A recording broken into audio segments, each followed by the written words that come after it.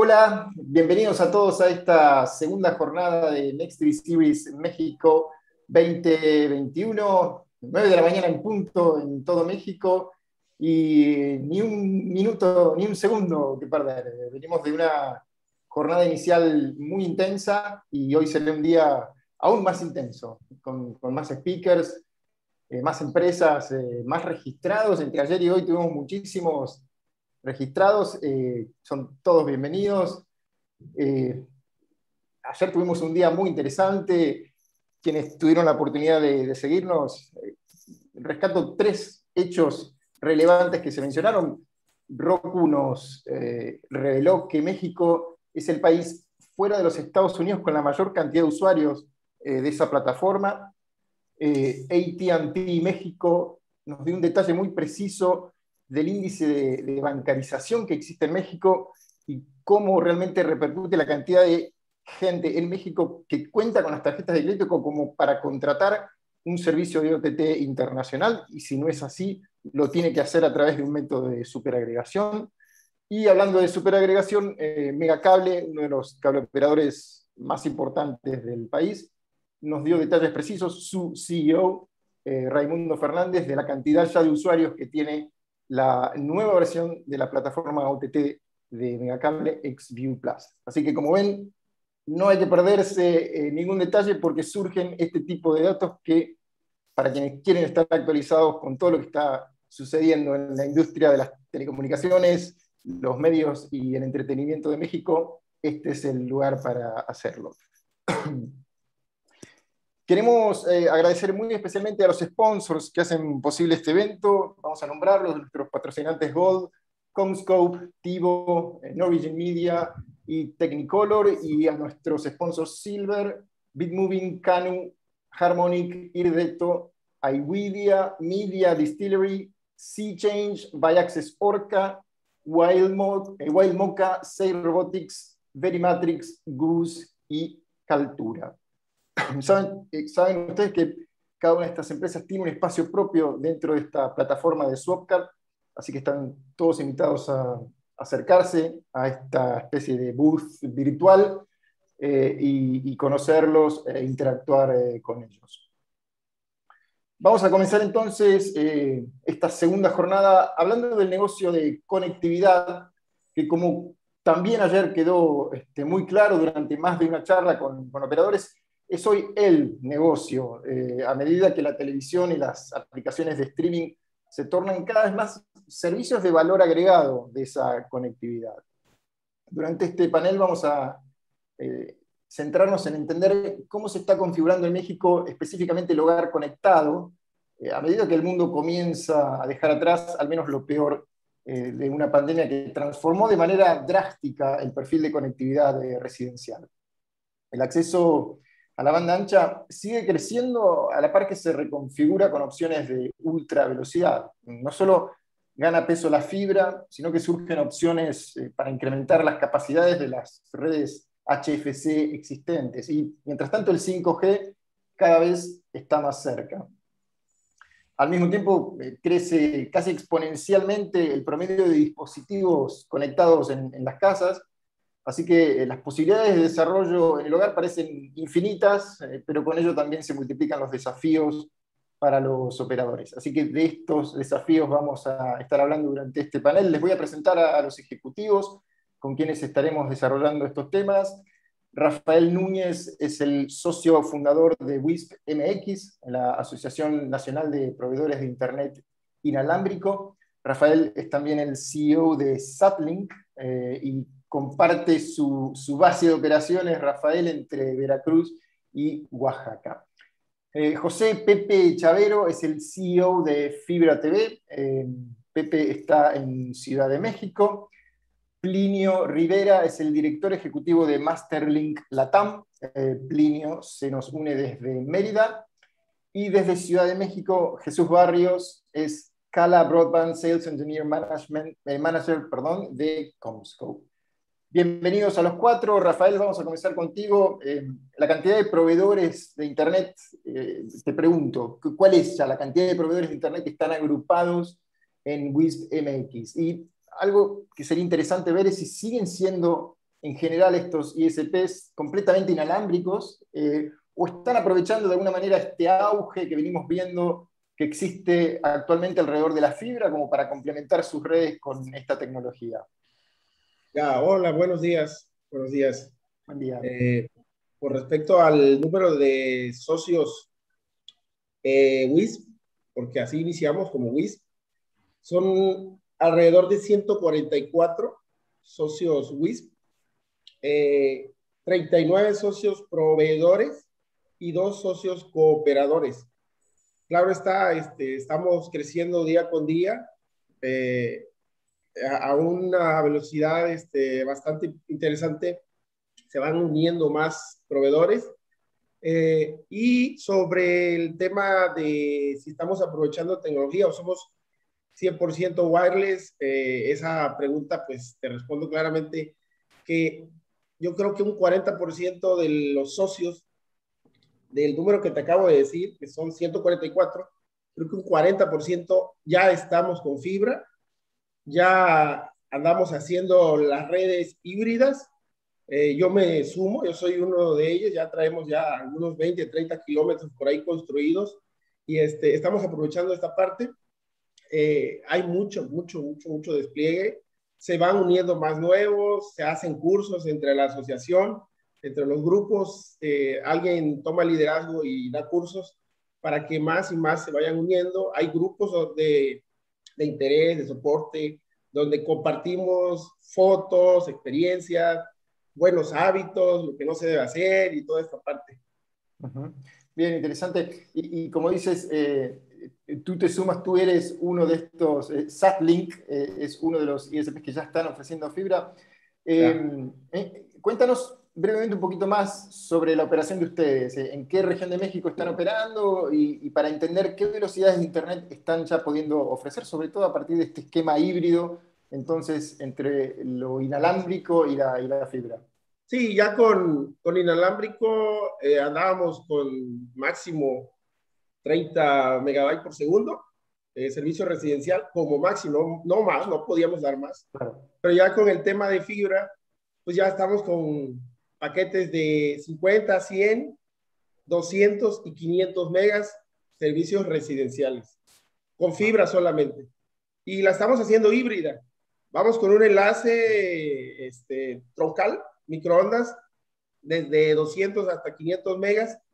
Y en, la parte híbrida, bueno, no ofrecemos esos paquetes grandes, pero sí llegamos al de 50 máximo, porque como dependemos de un enlace inalámbrico, no nos permite ir más allá.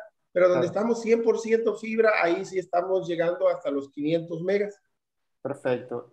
Y estamos entre dos estados, el estado de Veracruz, el estado de Oaxaca, una red eh, desde, desde una matriz hasta la otra, son dos matrices, Veracruz, Puerto de Veracruz, Oaxaca, que es Tuxtepec, y llevamos microonda a todo el camino con cinco repetidores y ya en cada uno de los lugares tenemos carriers de fibra de un lado y del otro. De esta manera podemos hacer un, un circuito tipo este, eh, anillo, donde estamos haciendo redundancia entre los carriers.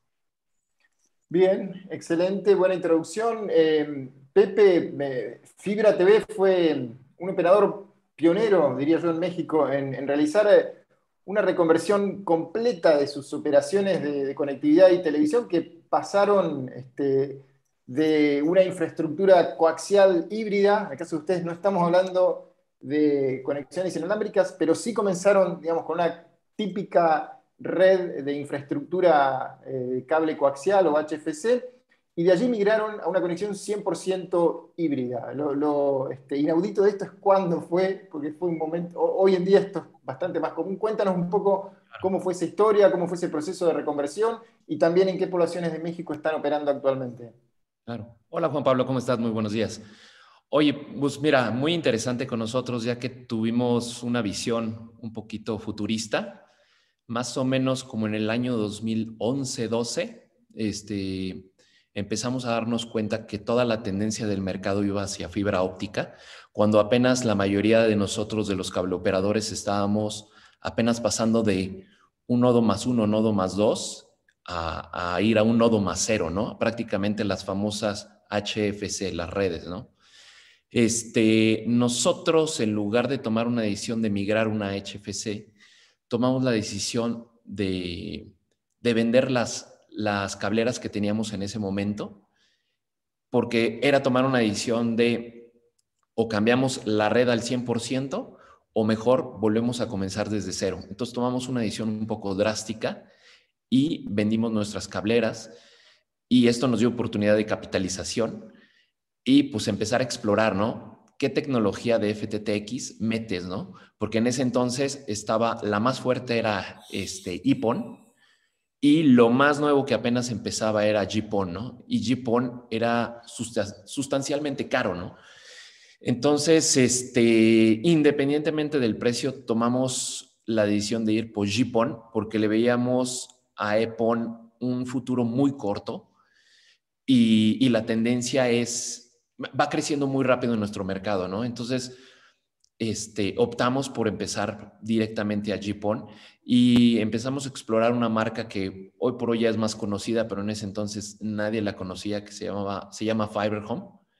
Este, fue con la primera que, que iniciamos aquí en México y posteriormente ya utilizamos otras, ¿no? Como ZT, Huawei.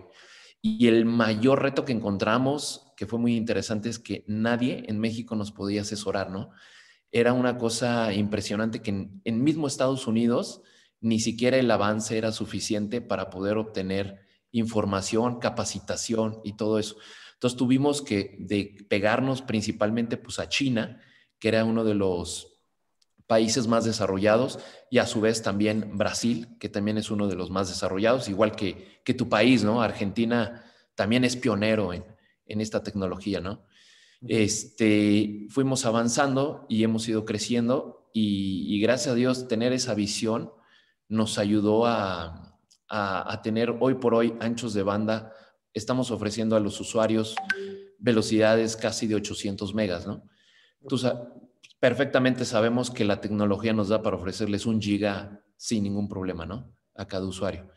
Es un tema comercial, realmente lo que todos estamos manejando, pero realmente este, podemos todos ofrecer hoy por hoy este, un giga y nosotros actualmente algunos clientes, nosotros ya estamos ofreciendo 10 gigas al, al hogar, este, porque hemos ido cambiando todavía nuestras redes, ¿no? Actualmente. Impresionante, la verdad, qué envidia, qué envidia como, como usuario, digamos, poder tener ese tipo de velocidades. Por acá todavía lejos. Eh, voy a, vemos que van ingresando algunas preguntas a través de la plataforma. Quiero ir avanzando con, con este, al menos una pregunta inicial para cada uno de ustedes, pero sí me gustaría, ingresó una pregunta de Miguel Smirnov, el director de Prensario, para Rafael, a raíz de su primera intervención. Te voy a hacer la pregunta, Rafael, te, la dejo para que la pienses, por ahí que busques la, información mientras avanzo con el resto, pero te pregunta Miguel Smirnov, ¿cuántos proveedores de conectividad wireless eh, con red hay en México. Digamos, creo que está apuntando al número total de proveedores eh, wireless o con red, digamos, al número total de ISP, creo que ese es el espíritu de la pregunta de, México. Te dejo para que la pienses. Mientras tanto, avanzo con Jesús. Eh, Jesús, hoy debe ser toda una rareza para cualquier proveedor de Internet tener un cliente residencial que ya no sea un hogar conectado, con un router Wi-Fi dándole acceso a múltiples usuarios que a su vez cuentan con múltiples dispositivos, que a su vez están cargados con múltiples aplicaciones. ¿Qué desafíos plantea el hogar ultra conectado de hoy? Y buenos días, Juan Pablo, buenos días a todos. Eh, eh, tú lo acabas de puntualizar, ¿no? Eh, ya los nuevos usuarios, la, gente joven, inclusive ya no conoce los puertos Ethernet de, de conectividad que antes eran muy comunes en, eh, los dispositivos que venían. ¿no? Eh, hay todo tipo de retos. Eh, la pandemia inclusive presionó aún más el tema de estar todo el tiempo conectados y no solo conectados de manera casual. ¿no? Tienes que tener una conectividad eficiente en cada esquina de tu casa, porque inclusive con esto de, de la pandemia, pues a todos nos encerró, ¿no? Todos tuvimos que habilitar eh, oficinas de manera muy rápida, eh, con eh, los facilities que teníamos que tener. Eh, los chicos que están en la escuela igual se tuvieron que conectar de manera remota y todos tuvimos que compartir el Wi-Fi que antes de la pandemia se usaba, si bien de una manera ya efectiva, pero no con estas prestaciones que se pidieron, ¿no? baja latencia, efectividad de conexión todo el tiempo, eh, uso de servicios eh, intensivos en la parte del streaming, lo que estamos haciendo en estos momentos, por ejemplo, eh, las teleconferencias y, y, toda la parte de la educación a distancia fue, y en nuestro país, que, bueno, que todos estamos aquí en México, a lo largo de 18 meses ha sido el día a día de nosotros, ¿no? Entonces, todo este tipo de cosas ha metido mucha presión en la parte de la conectividad en el hogar.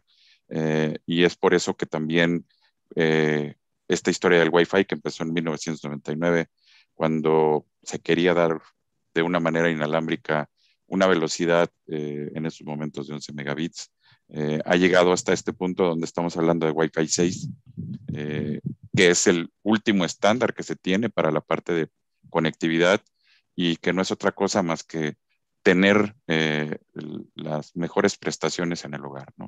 Entendemos que por temas también de eh, evolución tecnológica siempre eh, habrá temas de desafíos para los operadores eh, que despliegan las redes inalámbricas para intentar empezar a dar este tipo de prestaciones de conectividad de Wi-Fi 6. ¿no? En su mayoría, en nuestro país, y, y, todos lo sabemos, hay una mezcla inclusive desde Wi-Fi 4 o 5. para los que son nuevos en este tema del Wi-Fi eh, para precisamente quitarle la jerga este, de ingenieros, que tenemos algunos, de numeritos y nomenclaturas, de acronismos. La, eh, eh, la industria decidió ponerle un nombre más amigable al tema del Wi-Fi. Cuando hablas de empezamos con 11 megabits, mientras decías eso, creo que el 802.11, digamos, hacía referencia a eso, pero digamos... Exacto, y, realmente... Exacto. Entonces, realmente esto, esto se puso más amigable porque todo lo vamos a usar. Entonces, eh, le quitaron esa jerga de ingenieros eh, y le quitaron el, acronismo de la eh, organización que lo regula como estándar, porque eso es, el gran, la gran bondad de esto. Al ser un estándar quiere decir que la industria tiene que ser basado en una neutralidad, ¿no? ¿no? No hay sabores de un vendor, de Wi-Fi, sino que todos tienen que ser interoperables. Entonces, el Wi-Fi 6 anteriormente eh, se le conoce en términos de, jerga de ingenieros como 802.11ax, ese es el nombre del, estándar que lo define. Wi-Fi 5 es el estándar anterior, 802.11ac. Eh, ambos, eh, toda, toda la parte de la, evolución, ya hablando del hogar conectado, hablamos que hace 10 años había 5 o 6 dispositivos. actualmente vemos una cantidad brutal de dispositivos conectados, televisores, eh, cosas que uno diría que eran absurdas, refrigeradores, este, eh, computadoras, todos los dispositivos, tabletas, y, el, hecho de la introducción, mm. exacto, speakers, eh, mm. speakers inteligentes, todos los asistentes que hay, tanto de Google como Alexa, todos se conectan por Wi-Fi. Entonces, este, esta presión de tener más dispositivos conectados por Wi-Fi eh, hizo que la industria en general se volcara a revisar los estándares. esta revisión sucede de manera muy continua. Ahorita inclusive ya se habla de Wi-Fi 7, o sea, no hemos terminado Wi-Fi 6 de implementarlo, ya hablamos de Wi-Fi 7, Wi-Fi 8 y, eventualmente así va a ir creciendo. Y, que al final de cuentas, ¿qué beneficios eh, sin sin entrar en jergas muy técnicas, trae esto. Bueno, eh, la introducción del nuevo estándar de Wi-Fi 6 es mejora en el consumo de tiempo de batería de dispositivos móviles, eh, mayor eh, capacidad de hacer onboarding de más devices, porque el hogar va a seguir creciendo con devices conectados, mayor capacidad total del ancho de banda de consumo de toda la red Wi-Fi, porque muchos dicen, bueno, pues un, dispositivo no, va a poder tener eh, el consumo de un gigabit por segundo, pero todos estos dispositivos haciendo streaming al mismo tiempo sí lo pueden llegar a tener, ¿no? Y eh, la redefinición del, de la banda de 2.4 gigahertz, porque en Wi-Fi se usan dos bandas de, de transferencia, Sí, no, eh, te, voy a interrumpir porque, digamos, quiero, sobre ese tema después quiero hacer una pregunta específica. ¿eh? así que has hecho una muy buena introducción de lo que es Wi-Fi 6. Es un tema clave, así que vamos a volver sobre aspectos de eso y también sobre, lo que, sobre el tema eh, sobre el cual estás por empezar a, entrar, que es el tema de la, liberación de una banda que permitiría. Eh, Pepe, vuelvo un segundo contigo, digamos, porque mientras eh, habla Jesús, pienso, este, ¿qué, tipo de ventajas les trajo ya ser un operador de fibra, la explosión en demanda en consumos de, banda de ancha que, disparó la, pandemia y, y, toda esta nueva situación que Jesús estaba descubriendo también. Digamos, imagino, vienes de hablar de 800, 800 eh, megas, ¿verdad? Eh, digamos, imagino que ninguna complicación, digamos. Eh, no, ninguna. ¿Así? No. De hecho, fue muy interesante con la pandemia lo que vino, porque este, te voy a platicar de una población pequeña que tenemos en el estado de Querétaro. Este, el promedio consumo oscilaba por los 22, 23 gigas. Este, entra la pandemia y todo eso genera un alto consumo, como ya lo, mencionaron, este, este Plinio, que tuvimos una sobredemanda, ¿no? Porque tuvimos que convivir todos en el mismo, en el mismo hogar, ¿no? Con los hijos, el, el trabajo pasó al hogar, entonces todo esto se dispara, se dispara el ancho de banda y te lo juro, en menos de un mes, mes y medio, de un consumo en esa población de 22, 23 gigas, se fue a 84, 86 gigas. Entonces fue un consumo impresionante en tanto poco tiempo y obvio, pues uno está en contacto con sus amigos cableoperadores, cómo les está yendo, cómo, cómo está interactuando tu propia red, ¿no? Y muchos de ellos empezaron a tener dificultades de limitaciones de ancho de banda porque no estaban preparados todavía, ¿no? En nuestro caso, nosotros tomamos una decisión muy importante en el año 2018, que migramos nuestras redes todas a base de 100 gigas. Este, entonces, eso hizo que nosotros estuviéramos perfectamente preparados para una explosión como esta. Este, y tranquilamente nuestra red estuviera perfectamente cubierta. Y, y, la verdad, pues eso nos trajo grandes beneficios, ¿no? Porque cuando otros cableoperadores de, mi competencia que se encontraban ahí en el mismo mercado nuestro, este, estaban batallando con problemas de, pues, de baja velocidad. Este, se empezó a correr la voz que nosotros estábamos traficando muy bien y, gracias a Dios este, tuvimos una explosión y crecimiento como empresa muy, muy grande, ¿no? Te soy sincero. Entonces, este, yo siempre creo que hay que apostar al futuro, siempre hay que estar averiguando, experimentando, porque todo eso te va a ayudar a, estar a la vanguardia, ¿no? Y sobre todo en este, en este medio que nos encontramos que está creciendo muy, muy rápido, ¿no? Como lo dice Plinio, este, apenas estamos en implementación de, de Wi-Fi 6 y ya se están este, pensando en el Wi-Fi 7, el IPv4 ya se acabaron, ahorita vamos a platicar de todo eso, este, y, y, todos quisiéramos que el IPv6 ya estuviera funcionando el día de hoy porque urge interconectar mucho más cosas este, al día de hoy, ¿no? Y eso está creciendo muchísimo con, con el IoT, ¿no? Ahora, ahora volvemos a, ese tema también, que hablando de conectividad, estoy de acuerdo, el IPv6 es un tema clave. Eh, como decía eh, Jesús, creo que te referías, eh, con Plinio aún no hemos hablado, le, voy a dar ingreso ahora mismo. No, no pasa nada, no pasa nada. Somos muchos, somos muchos y, y, y, pasa todo el tiempo. Plinio, ahora sí, este, bienvenido. Eh, luego de varios años de, ocupar diversos cargos en, la alta gerencia de algunos de los operadores de, telecomunicaciones y TV de paga más importantes de México, hablamos de empresas como Total Play o, Televisa, hoy, Easy en sus operaciones de este, conectividad, te, te has sumado un proyecto muy interesante que le permitirá a los proveedores de Internet del país sumar un servicio de OTT, que es siempre una discusión. Ayer tuvimos un panel muy interesante también sobre estos temas. Eh, ¿Cómo funcionaría en el caso de ustedes este, este producto?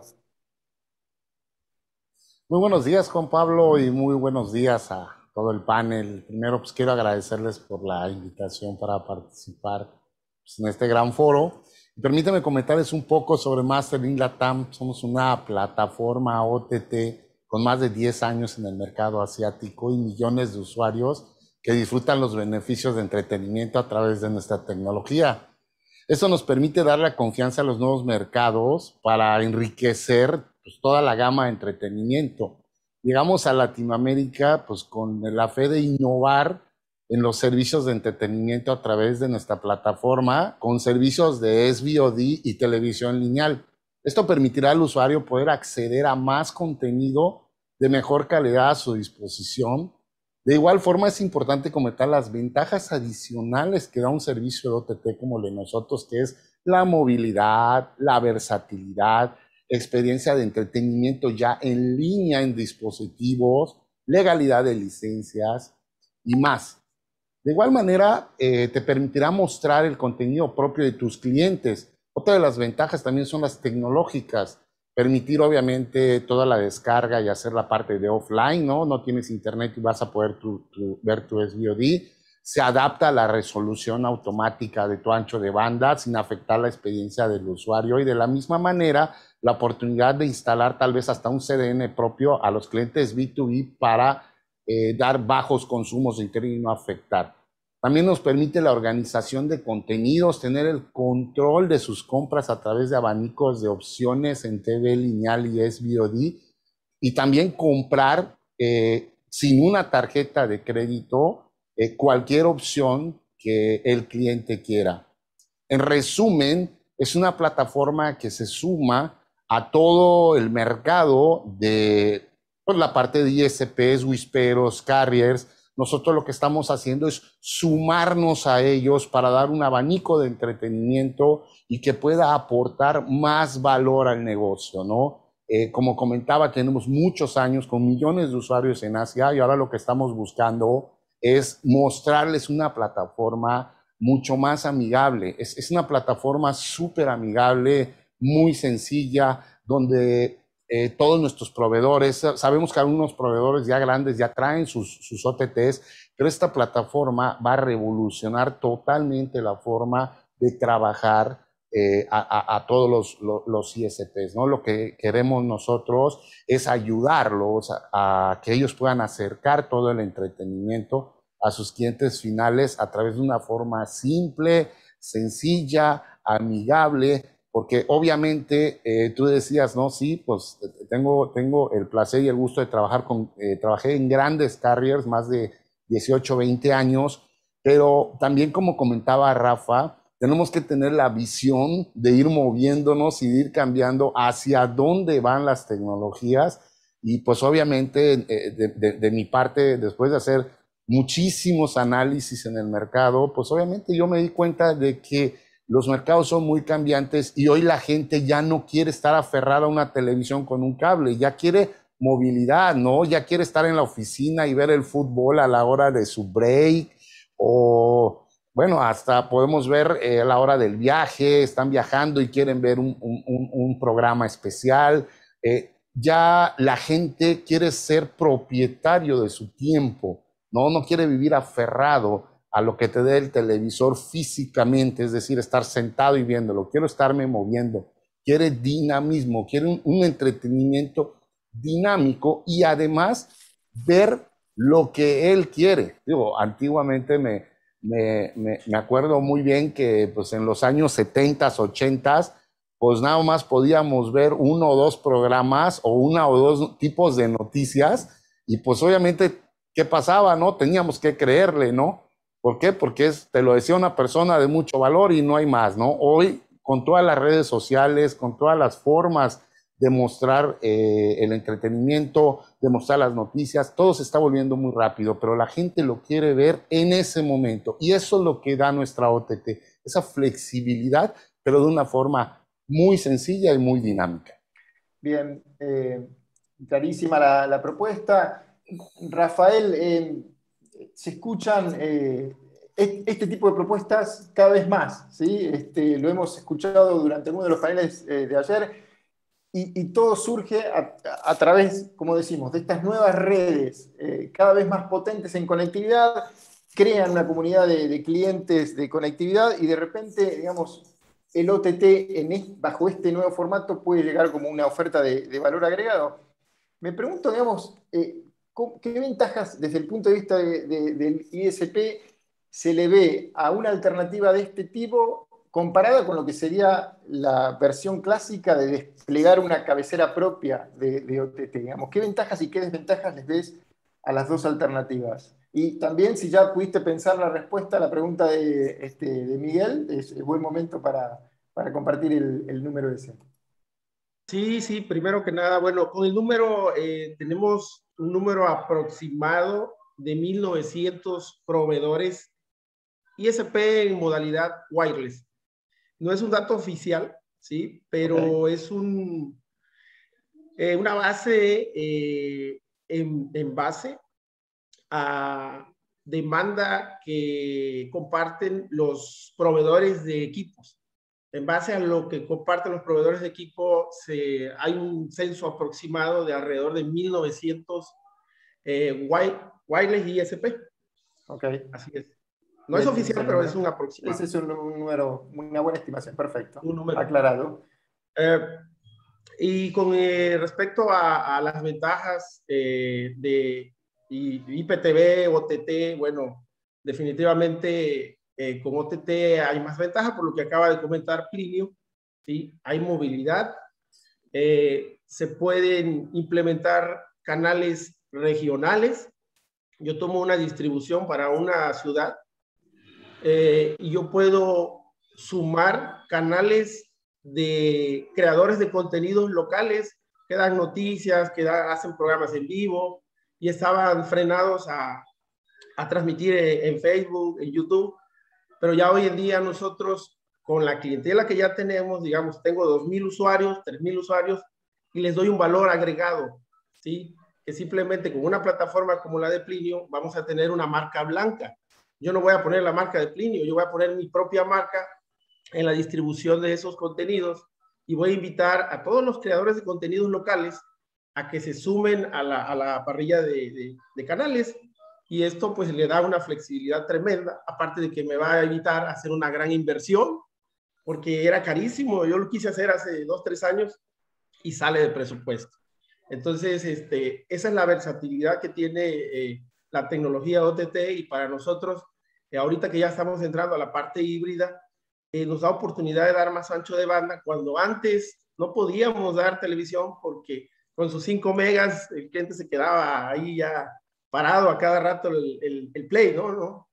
No había este, fluidez y ya hoy en día ya hay manera de hacerlo. Eh, está la parte de los CDNs, un proveedor como nosotros, poner un CDN en nuestra propia red nos da otra gran flexibilidad y es mucho más barato que poner una cabecera. Claro. Bien.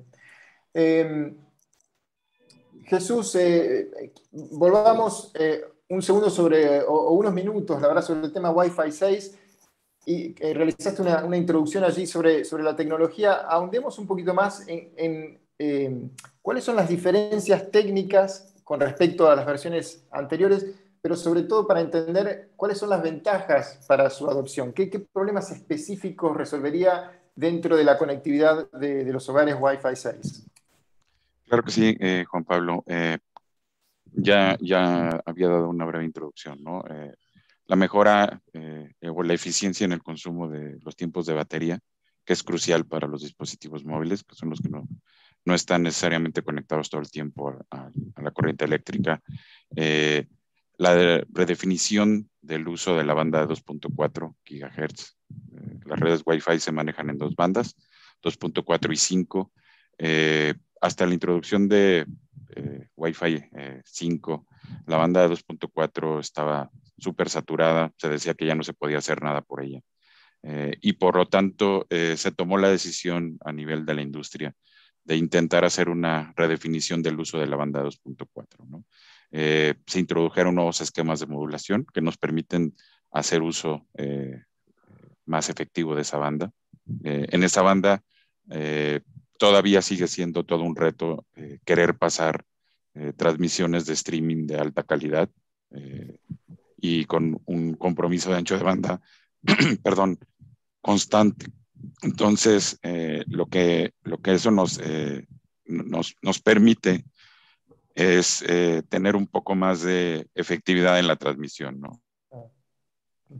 Adicionalmente a esto, está todo el tema de que Wi-Fi 6 nos permite tener un mayor onboarding de los dispositivos en una red altamente densificada, eh, que es lo que lleva al tema original que fue tu, tu pregunta, ¿no? El hogar hiperconectado. Todos los dispositivos, desde bocinas hasta computadoras, y hasta focos inteligentes se pueden conectar, ¿no? como lo mencioné, está visto que eh, la gran cantidad de dispositivos que se van a conectar en el hogar ha metido mucha presión y eso hace que tengamos esta, esta redefinición del, del, uso de frecuencias. Y adicionalmente para esto, pues bueno, todas las bondades que tiene el Wi-Fi 6. Eh, muchos han de decir, necesito Wi-Fi 6 y mis dispositivos son viejos. La industria siempre se ha preocupado porque exista retrocompatibilidad de los dispositivos. Lo que es interesante es que todos los dispositivos de Wi-Fi 6 lo que pueden hacer también es eh, darle un parámetro adicional a estas redes para poder hacer un mejor reuso de las frecuencias o lo que se conoce técnicamente como eh, coloreo de las bandas, que significa yo puedo estar trabajando en las bandas de frecuencia de mi vecino, pero que hay un parámetro de color adicional, ¿no? Esas son las ventajas de Wi-Fi 6 y adicionalmente, digo, para cerrar mi comentario rápidamente, está el tema a veces de la confusión. Wi-Fi 6 eh, existe una mejora del, estándar que se llama Wi-Fi 6E, que, se, que se confunde mucho con el tema de que el Wi-Fi 6E usa la banda de 6 GHz. Entonces, normalmente mucha, mucha gente piensa que Wi-Fi 6, en su manera original de, nacimiento, utiliza la de 6.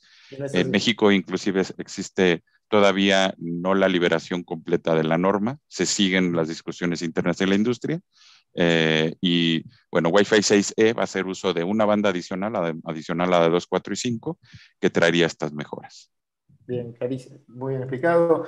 Me gustaría eh, ir a, nuestros dos eh, proveedores de, Internet para bajar a la realidad el tema de Wi-Fi 6, porque lo cierto es digamos, que la disponibilidad de, de dispositivos ya con Wi-Fi 6 en los hogares aún es muy incipiente eh, ahora la pregunta es, Pepe y Rafael, esto seguramente cambiará muy pronto, sabemos cómo funcionan este tipo de cosas. ¿Cuándo creen que será el momento adecuado para que los operadores de banda ancha comiencen a instalar ya los routers o access points con, con esta tecnología? Pepe, comenzamos contigo.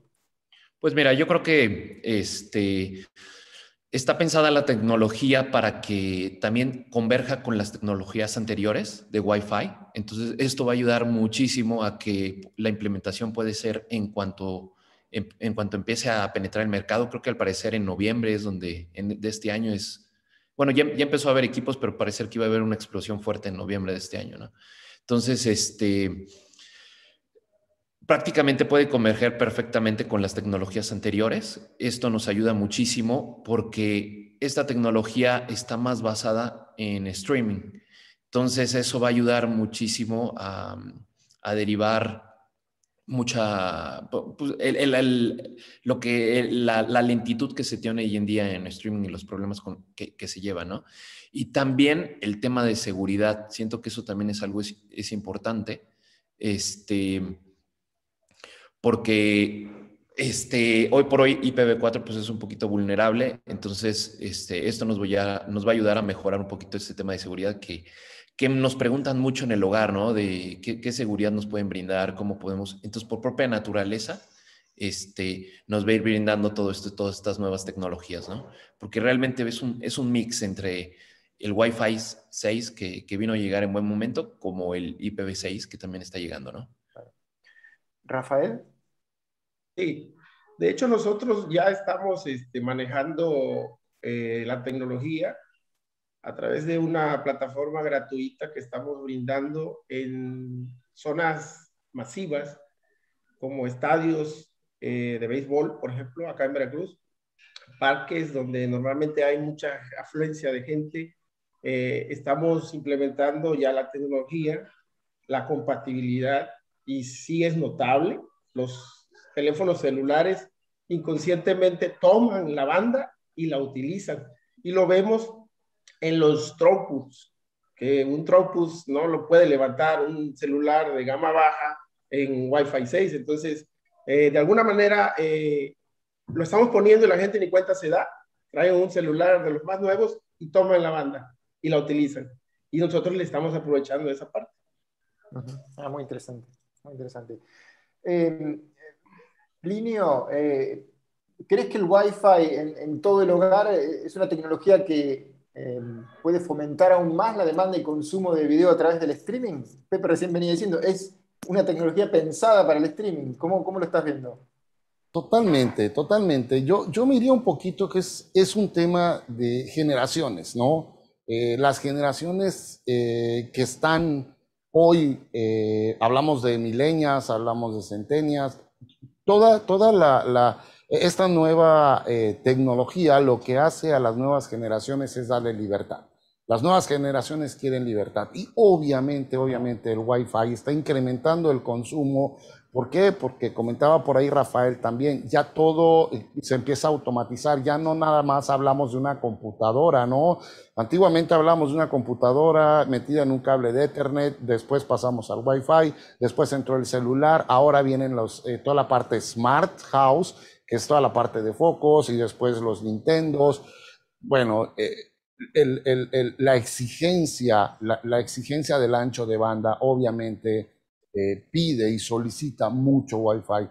Yo creo que por ahí va, yo creo que va a seguir creciendo la demanda y, vuelvo a repetir, eh, eh, el tema es de libertad, ¿no? El tema es de estar donde quieras.